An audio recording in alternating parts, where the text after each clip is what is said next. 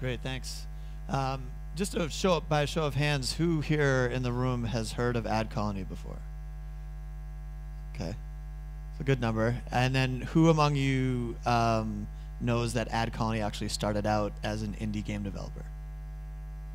Okay, so like two of you. Okay, great. So this should be this should be good. And and um, I basically the the purpose of, of the talk, as you can see, is kind of how to weave advertising into uh, your games. And if you know some of this might be old hat for some of you, uh, but for others, uh, hopefully it'll be a, a, good learning experience. And um, it, seeing as only about 30% of you raised your hands um, to say that you knew about AdColony, I just wanted to give you a little bit ba of, background to kind of show you why we're even qualified to be talking about uh, how to make good advertisements in games. And then I'll take you through uh, several examples of game developers that we're working with and how they're using uh, video ads to make a lot of money. Um, so first of all, what qualifies AdColony to talk about game monetization? I mean, we are an ad network and there's a lot of ad networks out there. Um, but we actually started off as an indie game developer um, at the launch of the App Store in 2008. Um, we had actually 15 of the first 100 games ever to launch on the App Store. And the second is our patent pending uh, proprietary instant play technology, which is really all about having a great user experience uh, for in-game video ads. So just uh, a little bit of history. Uh, AdColony actually started out one of our most popular games was a game called Tap Reef and uh, in its sequel, Tap Reef 2, with millions of downloads. Um, here's just a screenshot of the game itself. And uh, here's just a little uh, trailer. This was our first, this was the first AdColony video ad trailer uh, ever, and this is back in uh, 2009.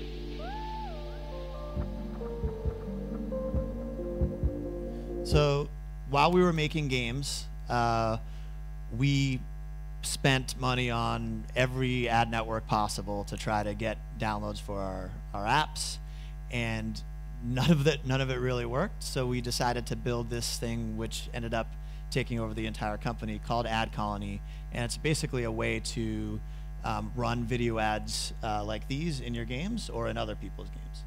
Um, and rather than give you any more detail here's a little short video about uh, AdColony the world is a pretty big place, and today we're connected like never before, thanks to social media, mobile devices, and apps. If you're a mobile publisher, that is a lot of opportunity.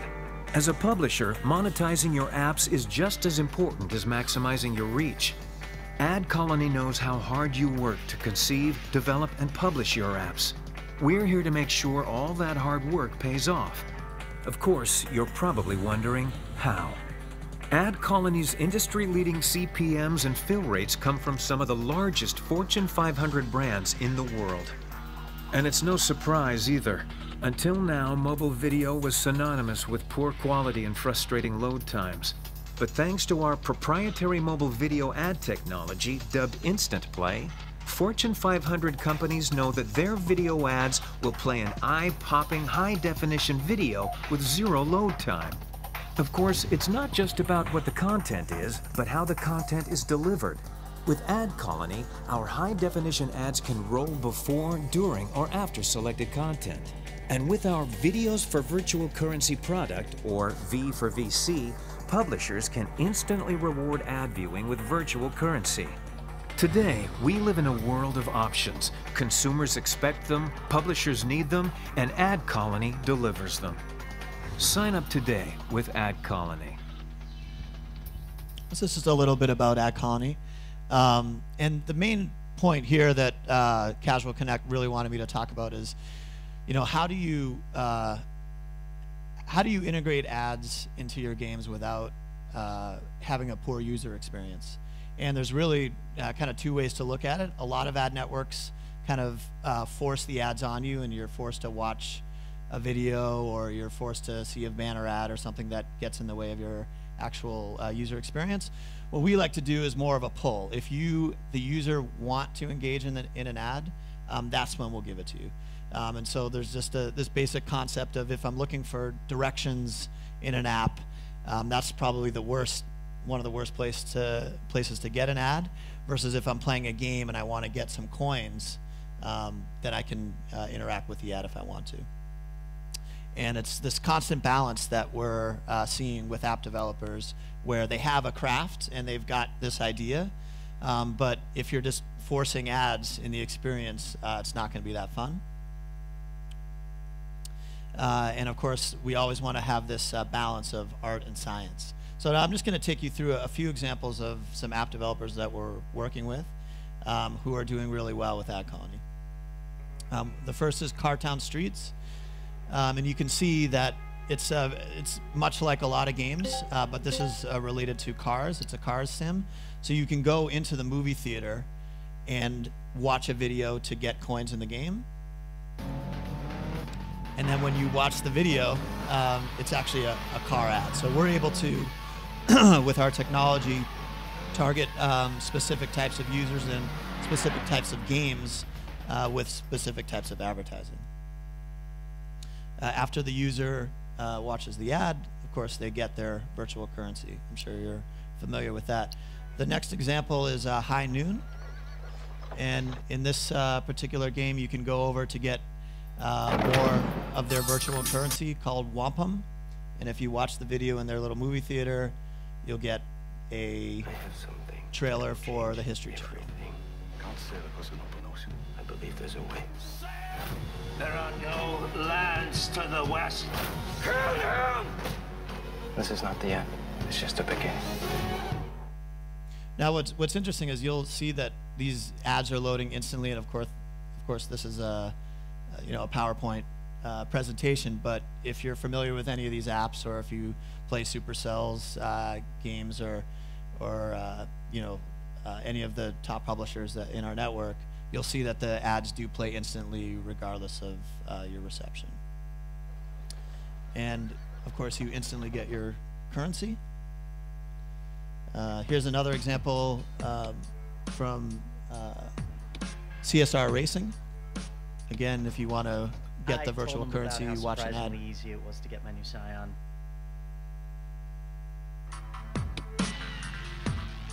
And you can see how fast you, you receive the currency.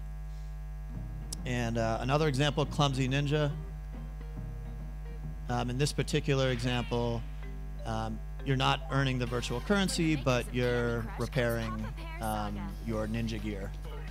Of course, we're all familiar with King.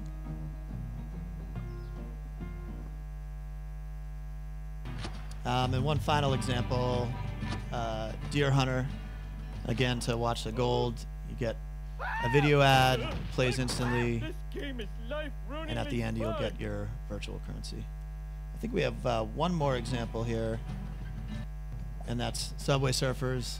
Uh, I'm sure you're all familiar with the game, but if you watch a video uh, in their store, you can earn virtual currency as well. So those are just some examples, but I wanted to get into something a little bit more uh, deep in terms of the data. And that is like a lot of people ask, you know, if I'm allowing users to earn virtual currency for, for basically for free, right? They're not paying. Um, how is that going to affect my economy? And we've done just a vast amount of studies on this. And it really doesn't make any sense if you're going to put in a virtual uh, currency exchange system if it's going to take away from your in-app purchases. So there's there's two things that we suggest. One is, uh, well, in case uh, just so we're all on the same page, you know, if you look at all the top 100 grossing uh, app developers, uh, five percent or less of their users are actually doing the in-app purchase. So how are you going to make money from the other 95% that literally never uh, pull out their wallet? And what we encourage is, you know, track those users over uh, a certain period of time, at least 30 days. And if the user hasn't done any in-app purchases, then that's when you can turn on uh, technologies like AdColony. Um, so you can really have both sides of the pie, and that's why we like to say one plus one equals three. In-app purchases plus videos for virtual currency equals increased in-app purchases, incre in increased uh, engagement, and increased uh, retention. Um, so this this is probably this is the meat of uh, what I wanted to talk to you about, and um, just this is again studying our network.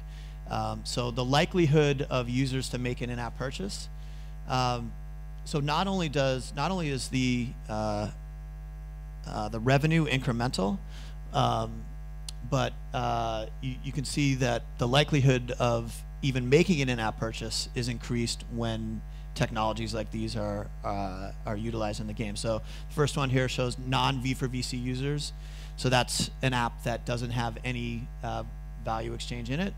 Um, the, the, the second uh, little bar there, uh, if you can't read it, V for VC users having previously made an in-app purchase, and then uh, uh, V for VC users having never made an in-app purchase. So the likelihood of, of making an in-app purchase after using videos for virtual currency is up to four times as high. And and there's there's a lot of kind of reasons for that, but I, I think the biggest one is that in the game itself, a lot of times people have no idea what the virtual currency is for, and you have this storefront, it has a bunch of price points, but they really have no idea why you're you're even asking them to make those purchases. So by letting them kind of sample the goods, if you will, um, that is, you're giving them some free currency by allowing them to watch a video. Number one, you're getting paid for it. Number two, you're allowing the user to say, oh, so that's what this gold coin can do. And then they have a higher likelihood of ending up uh, making an actual purchase in the app. Um, just a little bit about the videos for virtual currencies impact on user retention. So from one to 30 days, you can see that the the retention of users who actually are, are watching these videos to get virtual currency is higher from, from no, no matter which way you look at it, from 1, 3, 7, 15 to 30 days. And again, I think it goes back to that uh, whole mechanism of they're maybe they're burnt out, maybe they've spent $30 on virtual coins and they've run out of coins the videos for virtual currency allows them to keep playing with a small amount of currency so maybe they're ready for that next purchase. And also, um, one last point about uh, the days before a new user makes uh, the uh, first in-app purchase. Um, it's actually, uh, we, we did a study and it's 10% uh, sooner, uh, a user will make an in-app purchase 10% quicker um, if they're using this sort of system. Um, so I did want to save some time uh, for questions, uh, just because I'm, I'm, sure there's there's a lot. But um, there's a, a, couple more points I wanted to make just in summary about videos for virtual currency and, and how you um, put them into the app.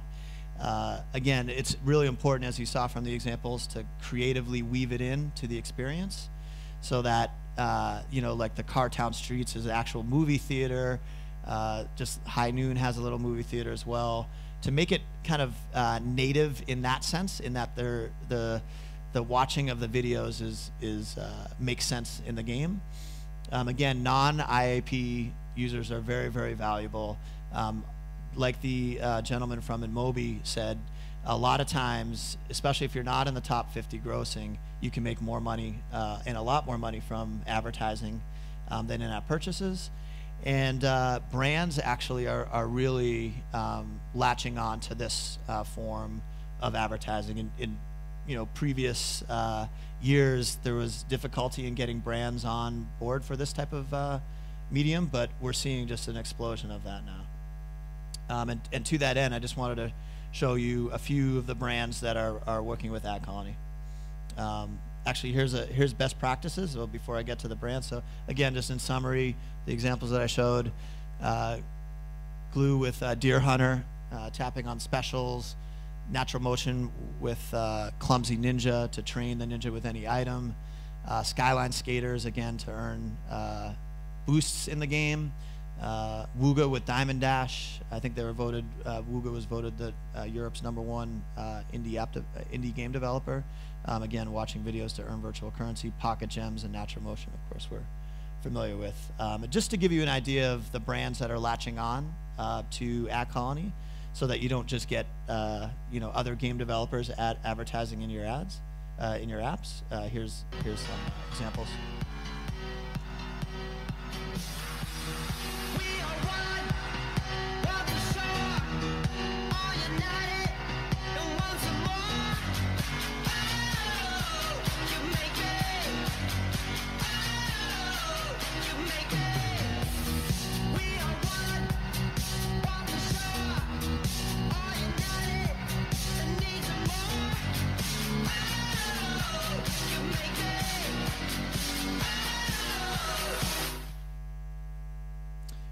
And that's it. So I, I just wanted to open it up to any questions that you have for me. You can uh, ask me anything. I've had a, a rich history uh, on the App Store again since uh, 2008 from the launch uh, of the App Store itself, and uh, I'm available, of course, afterwards to answer any, any of your questions about um, how much money you can make from AdColony or video ads in general. Do we have any questions in the audience? This is a big turnout today. I've been in a bunch of the uh, sessions here in this room today, and I think this is the biggest turnout, so I, I truly uh, appreciate that. Yes, have- in the back. Wait, wait. Th- there is a microphone coming too.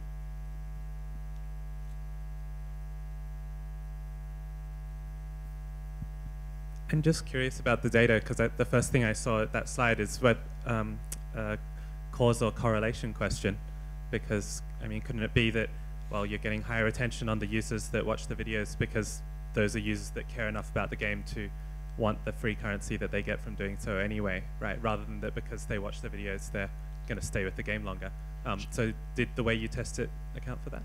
Sure. Uh, I can get into the details of the, the study maybe offline, and I can give you some more data. I mean, that's a that's a great point, um, and I think that's a, a question I think for any statistical study. I think uh, I, I think else? you know to, to maybe answer in a little bit more detail. Uh, the the top publishers in our network they test very very heavily on very very small segments of data over long periods of time and so like the, these studies are not just like a, a holistic uh, in nature they're they're they're really like um, and, and it, with some of these app developers we had to convince them that putting because they're making so much money from in-app purchases they were concerned about cannibalization and those sort of things. So they're saying okay we'll put videos for virtual currency in a very small portion of our users and see if the, and you know and track them all the way through and see if they're really resulting in higher retention rates you know more in-app purchase and all those things so this data is really coming from from them um, but it, it, it's still a great question and i think ultimately you'd have to ask them any more questions Any more questions? big room today Hi. Hi. Uh, just two questions. Do you have an average of how many views do you need to, to get a conversion? That's a Um, that's a great question. I don't have that number offhand, but what we do uh, do is uh, we cap uh, the amount of videos that a user can watch per day at 20. Now that's it, it, it's flexible depending on the app and depending on what kind of uh, click-through rates uh, we're looking at for the the advertisers because we have to appease them as well. Um, but on average, I mean, we're seeing that g 20 videos per day per user is, is a good metric that helps everyone because we're, we're having to uh, appease a lot of parties, right? The advertiser, the user, um, and the, the app developer themselves so they're not flooding their market with uh, the, c- currency. And the second one, um, are you working only directly with the game developers or you have agencies like Mobusi, like my company, dealing with you and getting traffic from you? Yeah, so this particular talk was geared for game developers because it's Casual Connect, but uh, we work with a number of other uh, types of publishers, uh, from social to music to um, news, companies like ABC News and Fox Radio and, and things like that. Yeah. I was thinking about advertising. If I want to advertise and be one of your advertisers, Mm-hmm. could advertise my videos or videos from developers being a third party? I Yes. Yeah, and, and we work with uh, companies like HasOffers um, to to do that, and Fiksu as well. Is Yeah. another good one. Okay, thanks. Yep. Any more questions for John? Great. Well, thank you for the time, guys. I really appreciate it.